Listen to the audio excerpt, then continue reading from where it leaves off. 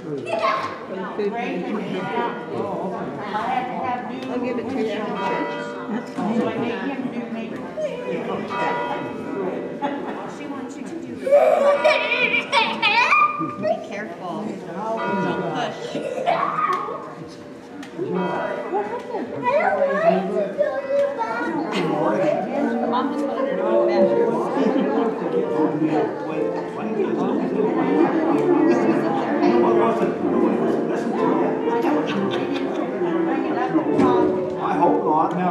Well, hey, I put my sofa somewhere.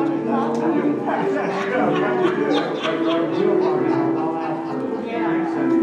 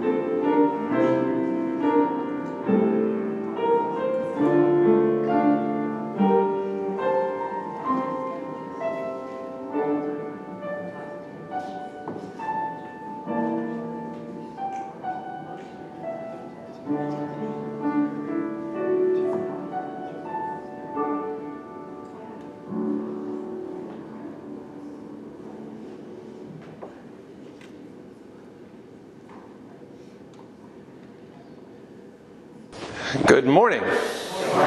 Welcome to the house of our God this morning, whether you're here in the sanctuary or you're watching later this week online. Welcome uh, to this time of worship together. Um, does anybody know what Saturday is? That's right, it's Reformation Day. Saturday is Reformation Day. It is the day that we remember the uh, Martin Luther nailing his 95 theses to the uh, door at Castle Church in Wittenberg in Germany and began uh, what started to be a reformation of the church. Um, and as I think I did last year, I had intended to um, uh, to bring some uh, Reese's peanut butter cups and put them on the door so that you could take them, but I forgot them at home this morning. And so I, I don't have those. Maybe I'll have them next week uh, for you, uh, if you like, because I like to put, you know, put the 95 Reese's on the door so you can take one as you go. Um, so maybe that'll happen next week, a little closer. But today is the last Sunday in October, and therefore it is Reformation Sunday. Uh, so we're uh, focusing a little bit on Reformation uh, this day and themes of the Reformation uh, this morning. Uh, the only other announcement that I have this morning is uh, just a reminder that the candle here is in uh, honor and memory of Mardell, um, who passed this week.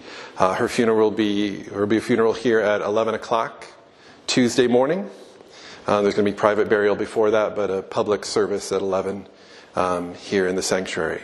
Uh, and uh, Jim Hanson is going to do the be here and deliver the message for that as well for Mardell. Um, do any of you have any joys or concerns or announcements that you want to share with the congregation? Yeah.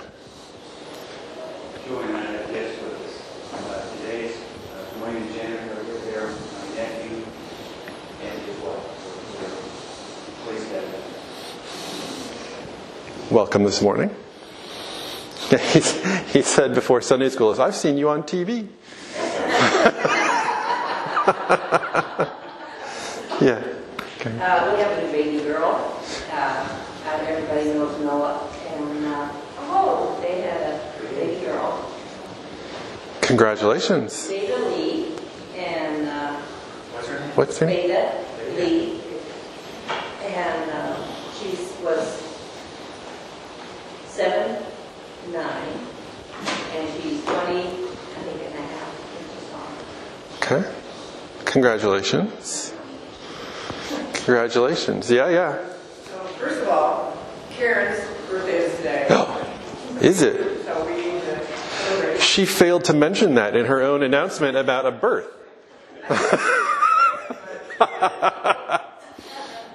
Shall we sing for Karen? Okay. Happy birthday to you. Happy birthday to you. Happy birthday, dear Karen. Happy birthday to you. Thank you very much. Happy birthday to you also. And you have another announcement. Okay. Um, we are going to lunch from our we're doing it a little differently. So if you have not been contacted for food, you don't need to bring any. And we've kind of already contacted people to help, because it limited in the kitchen. So, um, we're not tripping on over each other and, uh, and we're uh, safe to communicate. So, uh, that's, you haven't been contacted, you're good to go. Okay. Anything else this morning? Okay. Our sentences this morning come from Psalm 119.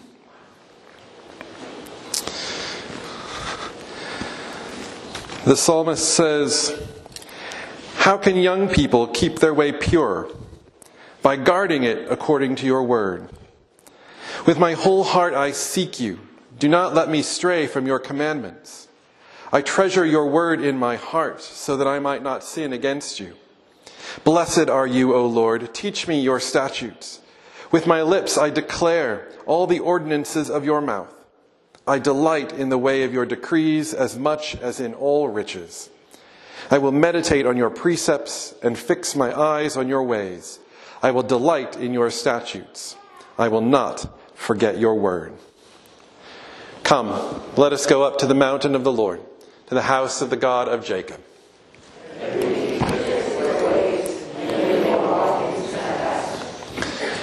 Lord our God, we gather before you this morning to worship you.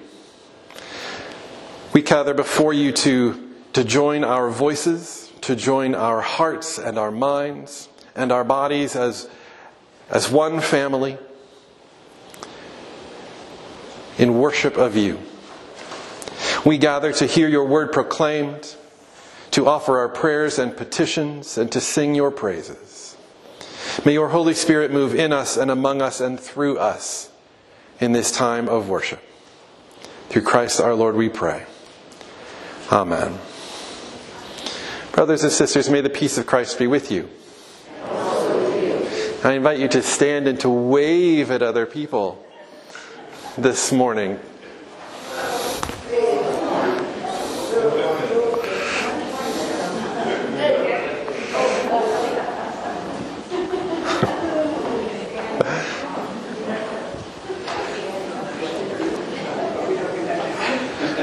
Our song of praise this morning is number 151 in the purple hymnals, Faith of Our Fathers.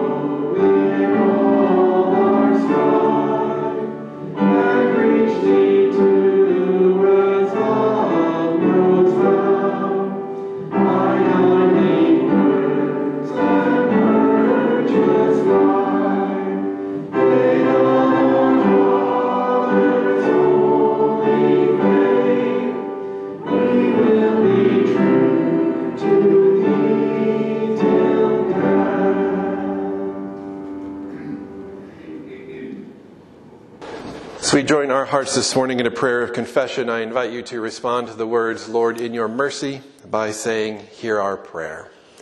Let us pray.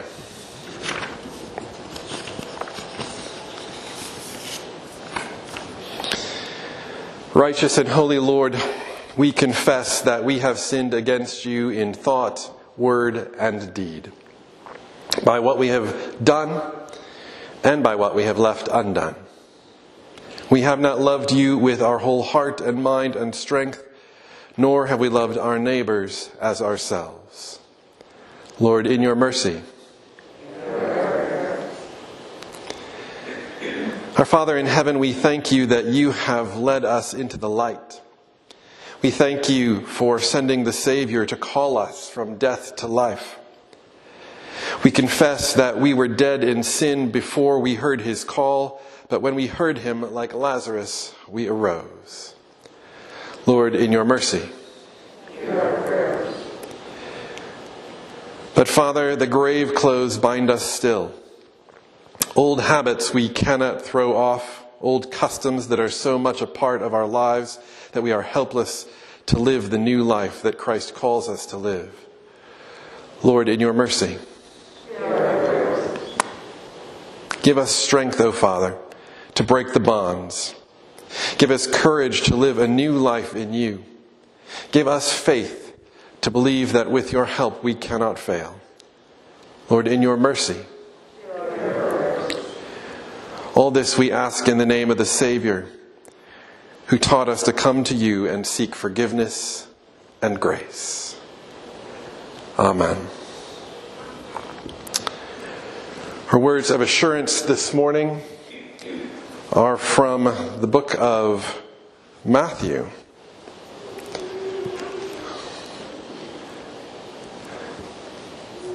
And just then, some people were carrying a paralyzed man lying on a bed. When Jesus saw their faith, he said to the paralytic, Take heart, son, your sins are forgiven. Then some of the scribes said to themselves, This man is blaspheming. But Jesus, perceiving their thoughts, said, Why do you think evil in your hearts? For which is easier to say, Your sins are forgiven, or to say, Stand up and walk? but so that you may know that the Son of Man has authority on earth to forgive sins. He then said to the paralytic, Stand up, take your bed, and go to your home. And he stood up and went to his home. When the crowd saw it, they were filled with awe and they glorified God who had given such authority to human beings. Brothers and sisters, believe this good news and live in its peace. Amen.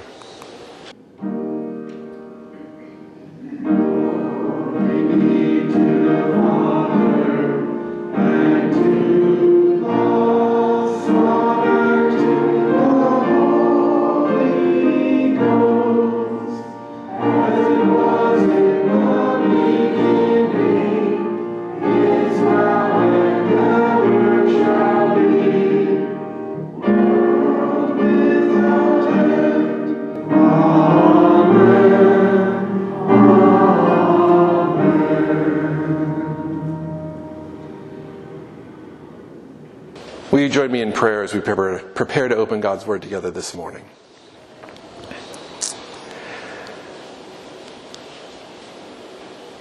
Holy Spirit, open our eyes and our ears that we may see and hear.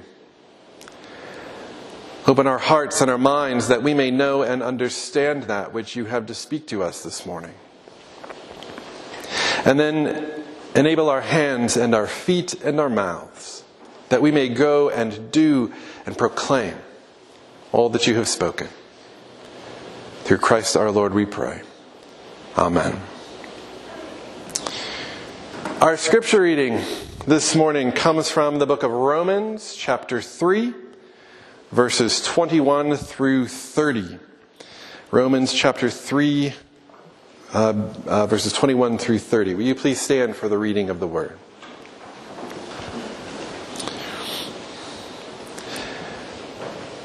But now, apart from the law, the righteousness of God has been disclosed and is attested by the law and the prophets, the righteousness of God through faith in Jesus Christ for all who believe.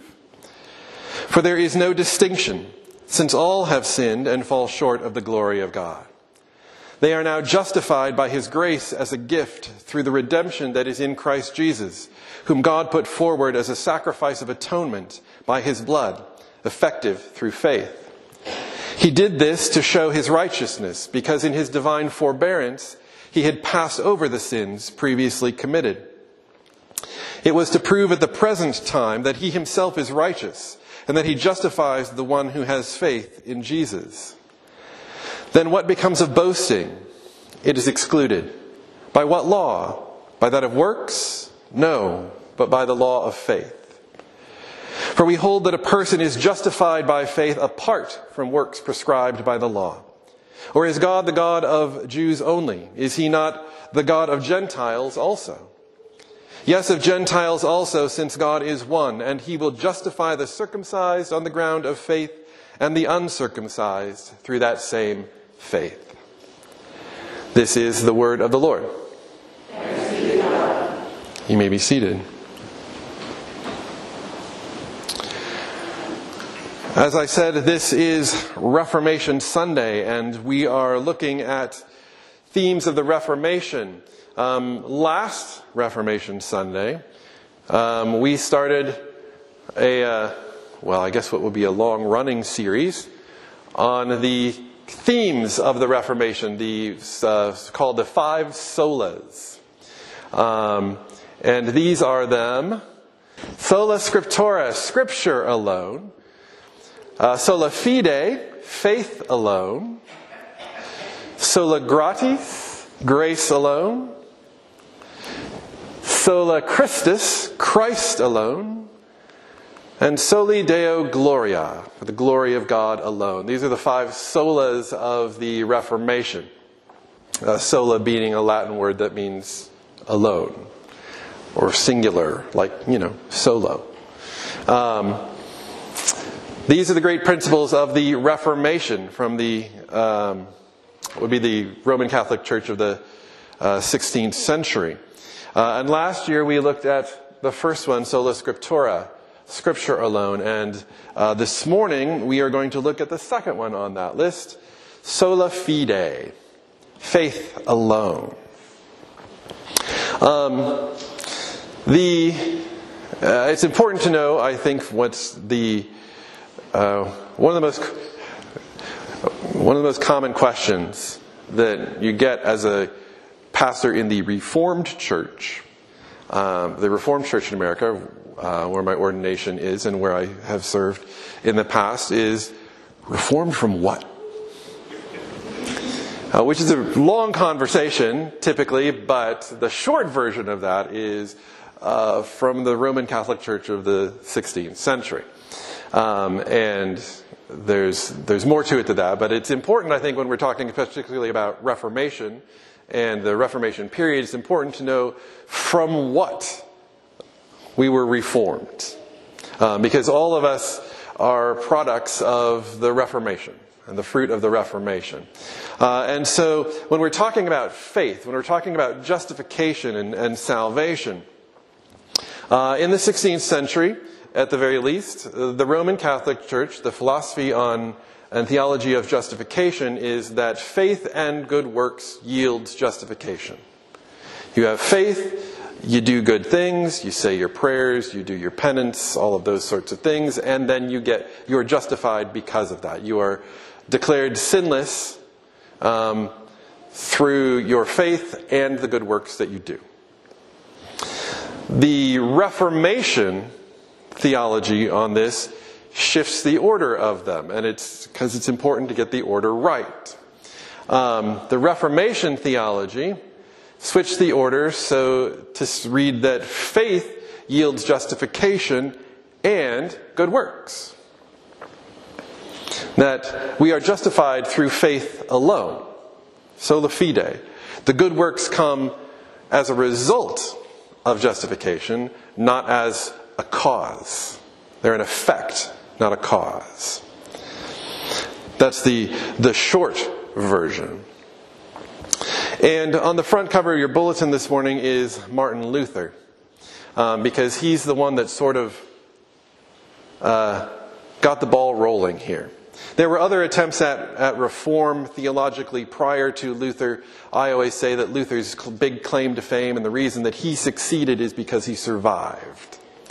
Um, because all the others that came before him uh, did not survive. Um, but Luther was hidden away. Uh, Luther's Luther's comment on the idea of the sola fide, of the faith alone, uh, in the Latin is articulus stantis et cadentis ecclesiae.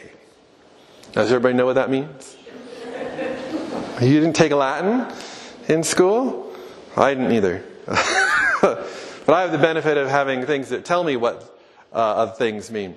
Uh, essentially, it means that Luther's comment, Luther's thought, his philosophy behind the faith alone, which was, which was central to, to Luther's theology is that, that faith alone is the doctrine by which stands or falls the church.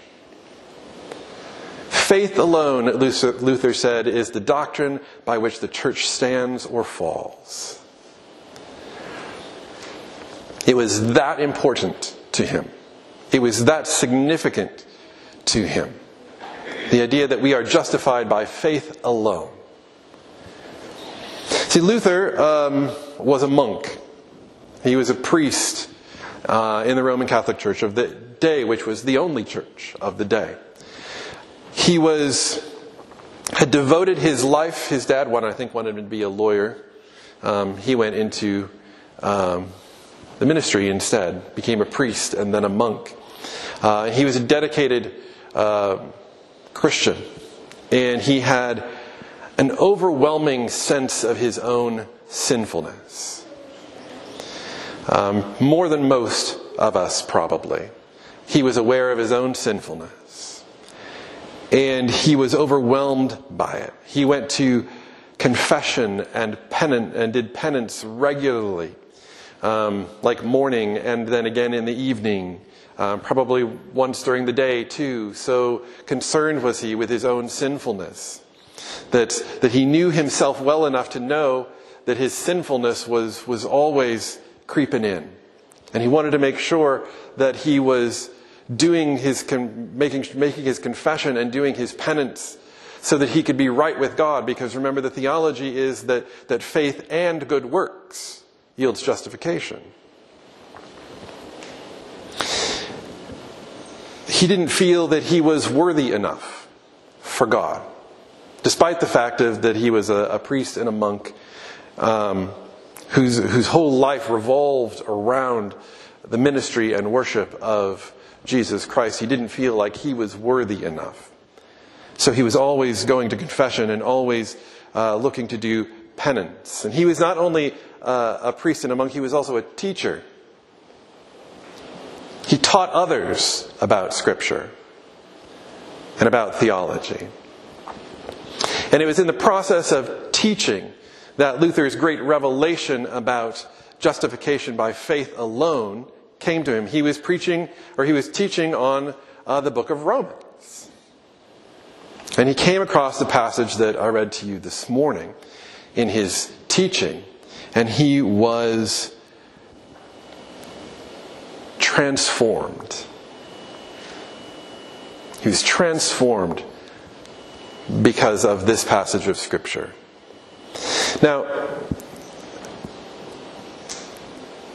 one of the beautiful things about Scripture, which I know that you all know this, but bears repeating, is that, that you can come to it when you're eight and get something from it. And you can go to the same passage when you're 16 and get something different from it, something that you didn't see before. You can go to it when you're when you're 30 or when you're 50 or when you're 70, that same passage and find something new which God will speak to you through the scriptures at that time in your life, at that moment. And I'm sure that Luther was aware that this wasn't the first time he'd encountered Romans chapter 3. But this time, at this moment, at this place in his life, God spoke to him significantly and it transformed him and it transformed the church because of him. Luther made this discovery teaching this part of the book of Romans that talks about justification by faith and not by works, but now apart from law, the righteousness of God has been disclosed. Righteousness of God through faith in Jesus Christ for all who believe. And the, the discovery, discovery is a really interesting word. It's a whole period of discovery, but we're actually discovering something that's actually already there and been there for quite some time. But it's new to him. NBC used to do on their must see TV, you know, if, if, when they were running reruns, it was like, well, it's new to you. If you haven't seen it, it's new to you. Well, uh, this is new to Luther at this moment. And he discovers that Scripture teaches just that we are justified by faith apart from works prescribed by the law. That justification, salvation, isn't based on what we do, it's based on what Christ has done. All of humanity falls short of the glory of God. All have sinned and fall short of the glory of God, and we are justified by faith not by works prescribed by the law. Jews with the law, Gentiles without the law, are all saved by God, are all justified by God in the same manner, through the same faith. It has nothing to do with obedience to the law, it has everything to do with Christ's sacrifice on the cross.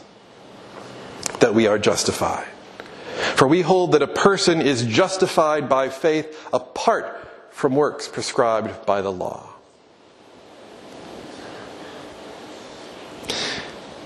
In the passage which immediately follows this passage in Romans chapter 3, Paul tells the story of Abraham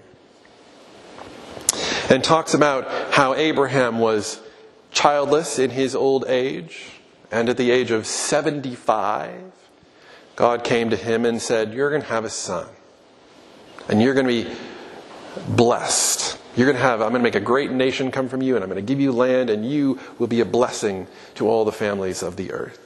You're going to have a son. And Abraham believed God. He had faith in God. And it was credited to him as righteousness, Paul says. Righteousness came because Abraham believed God. He trusted in God. This is before the law. There is no law at this point. Law doesn't come till Moses. And Paul's point is that Abraham was declared righteous. Abraham was justified. There's no law to fulfill. There's no law to obey. It's through his faith. He believed God. And God credited it to him as righteousness. There are no good works. There's nothing to do at all. Abraham believed and so was justified. For we hold that a person is justified by faith apart from works prescribed by the law. Paul's own story is one that is significantly rooted in adherence to the law. Paul was a Pharisee. You guys know what a Pharisee is, right? They're the people that are always attacking Jesus, that are always trying to trick him and test him. Uh, Pharisees were, uh, were not priests, they were, they were lay people who were exceptionally devoted to their adherence to the law. They were especially um, religiously minded. Paul was, he wasn't a priest, he was a tent maker. That was his job. Um, he built homes for a living, sold homes. So I don't know if that technically that's real estate or construction, but it could be either, I suppose. When you're living in a tent, maybe it's both. That's his job, that's his profession. Yet he was uh, devoted to the worship of God, and he was intensely um, working to make sure that he was in absolute compliance with the law. That's what a, a Pharisee is. That's who Paul was. He believed in justification through the observance of the law. And Paul, in the end, after he has literally seen the light, after he has met Jesus Christ, after he has been taught, after he has learned, says, says you know, that, that counts for nothing. It counts for nothing. I confess to know nothing but Jesus Christ and Him crucified. All of the observance of the law that he did in his former days, when he was uh, before Christ was on the scene, before Jesus came out of the world, before the, the, his followers were making such a stink in the Jewish community, and, and before he began to persecute the church, he believed in, in strict adherence to the law, and he did it to the very best of his ability. But after he has come to know Jesus, he says, uh, none of that matters. None of that matters. Knowing Christ is all that matters. God justifies the one who has faith in Jesus, not the one who does good works. For we hold, Paul says, that a person is justified by faith apart from the works prescribed by the law.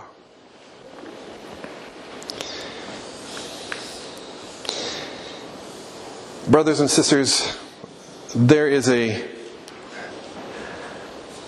a nasty human inclination um, to want to, to justify ourselves based on our um, based on our works, in short.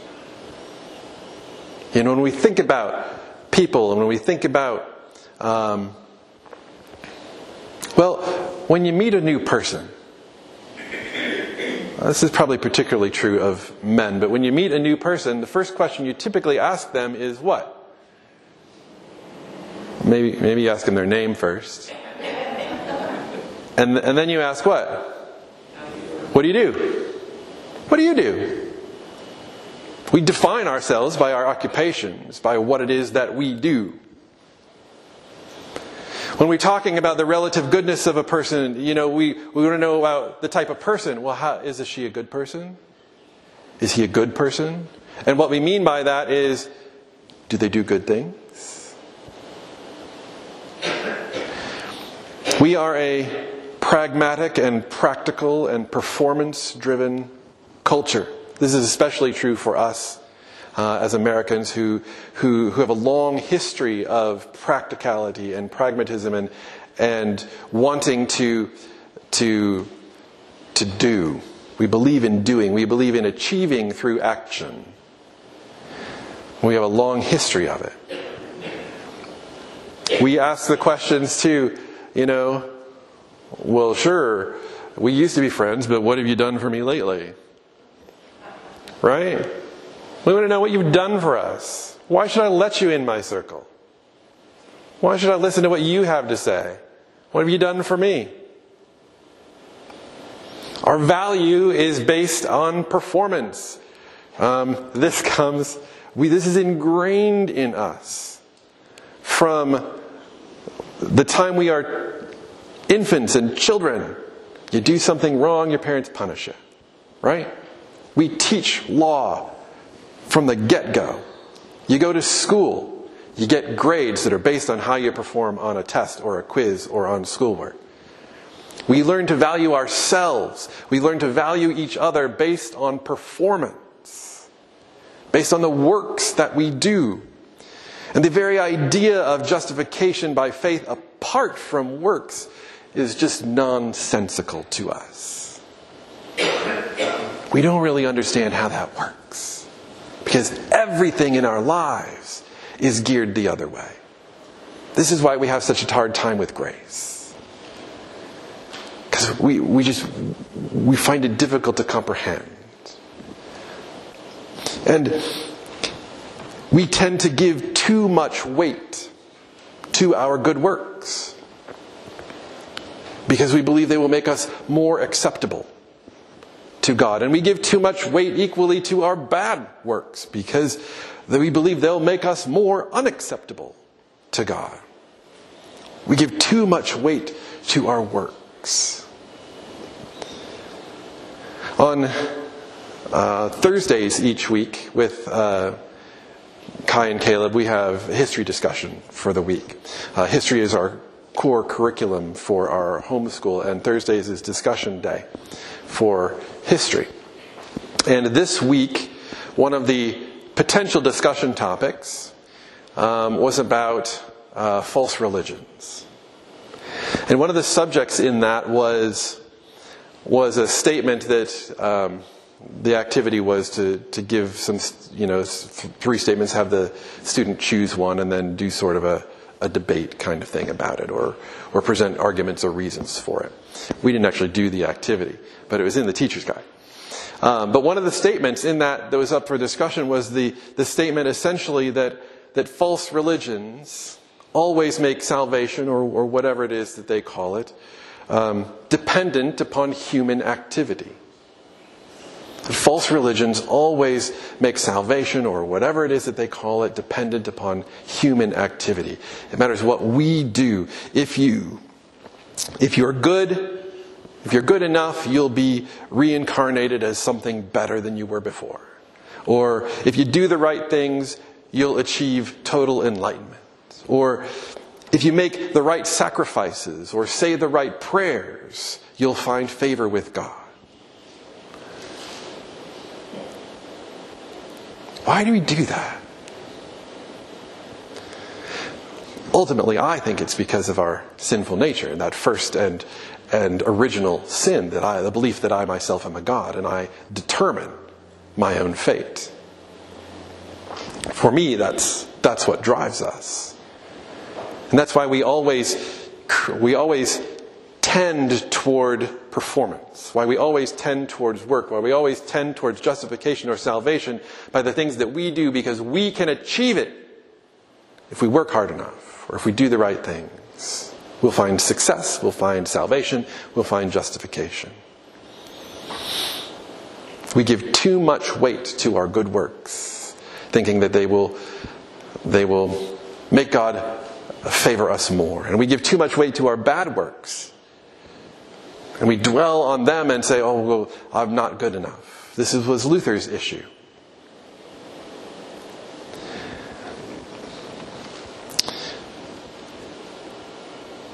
For we hold that a person is justified by faith apart from works prescribed by the law, Paul says. And Luther discovered, or rediscovered. And so was transformed.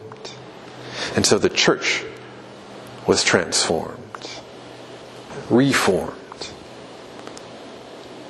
with a theology that we are justified by faith alone, on which Luther says the, the church stands or falls.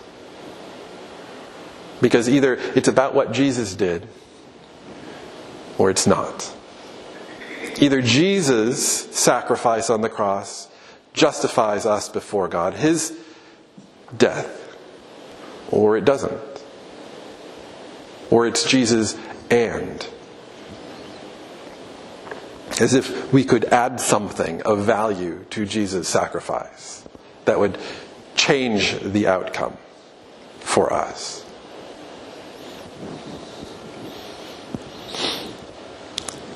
Brothers and sisters, neither our good works nor our bad works have any bearing on our justification in God's eyes.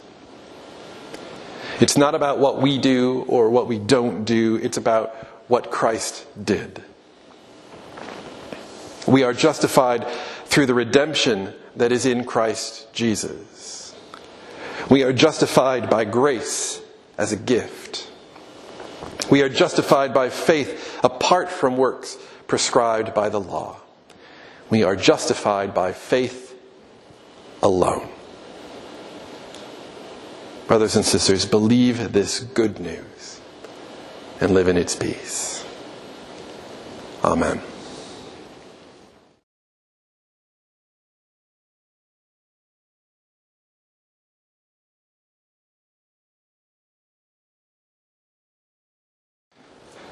Will you join me once again this morning in prayer?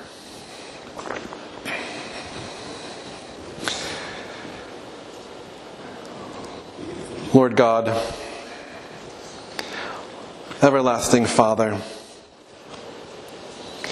teacher, protector, guide, lover of our souls, you have brought each of us in safety to this new day. Preserve us, we pray, with your mighty power that we may not fall into sin nor be overcome by guilt or adversity. In all we do, direct us to the fulfilling of your purpose for us. God, who creates, sustains, and provides, we are grateful for your many blessings. We offer to you our prayers of thanksgiving. We thank you for the warmth of sunlight, for the wetness of rain and snow, and all that nourishes the earth. We thank you for the sustaining love of family and friends, for the presence and power of your Holy Spirit.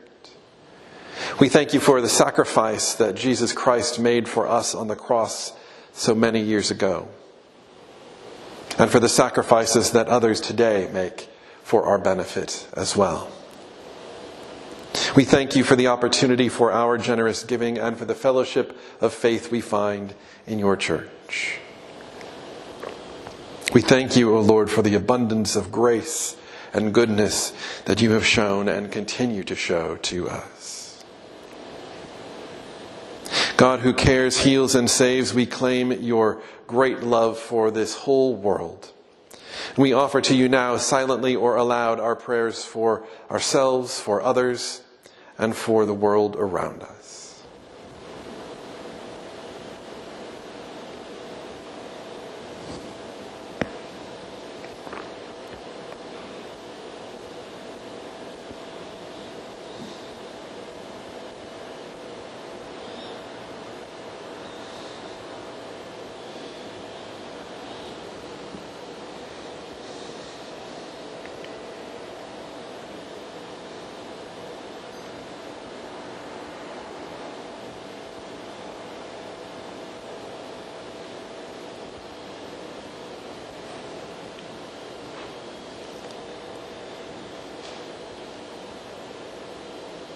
Lord, we entrust to your keeping all those people for whom we have prayed in the silence.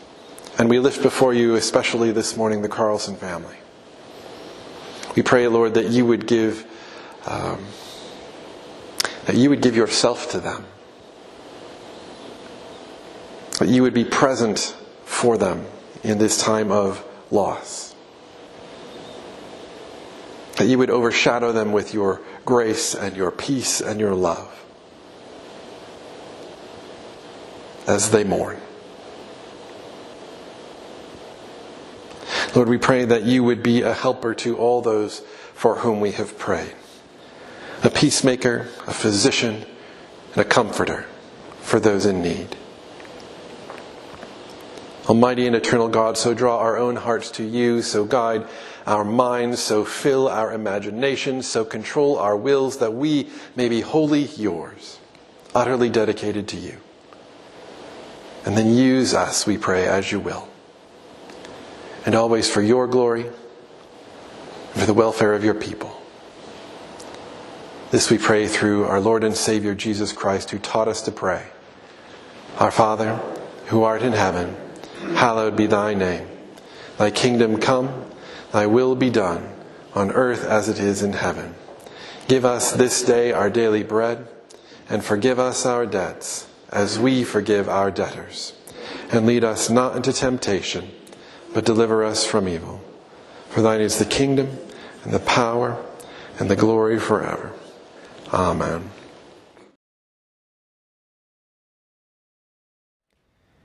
If you would like to contribute to the mission and ministry of St. John's, please feel free to send your offering to the address on the screen. Thank you.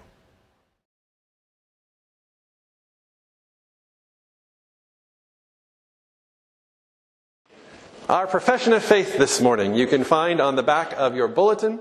Uh, it will also be on the screen. It is a selection from Martin Luther's commentary on this passage in the book of Romans. Um, on faith, let us say together what we believe. This is why faith alone makes someone just and fulfills the law.